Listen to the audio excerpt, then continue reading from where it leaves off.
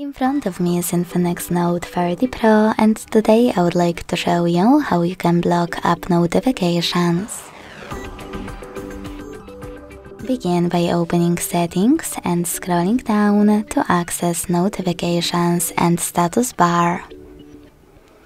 Then you need to scroll down again and click on one of those switchers next to one of your apps.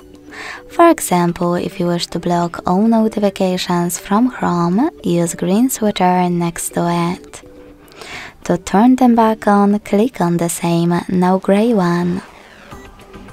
You can also just tap on one of your apps on the left and manage all notifications from here.